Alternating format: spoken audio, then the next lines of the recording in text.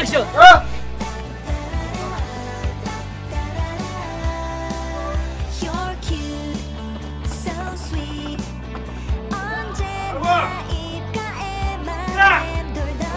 아프니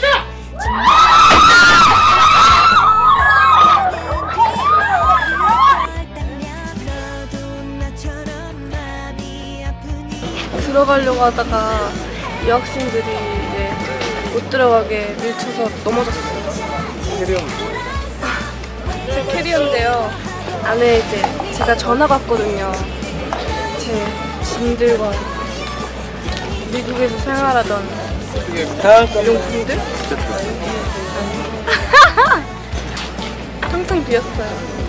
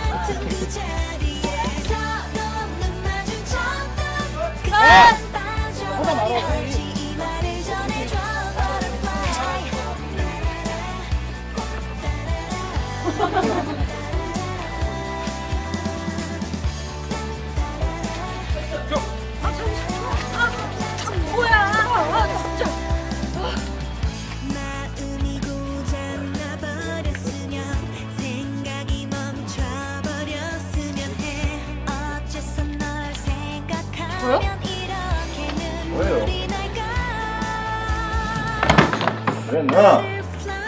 너 뭔데 학교를 막 들어가?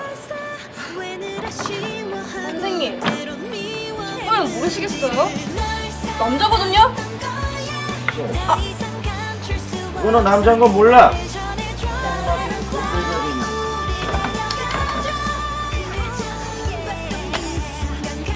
해! 그럼 수고하십시오.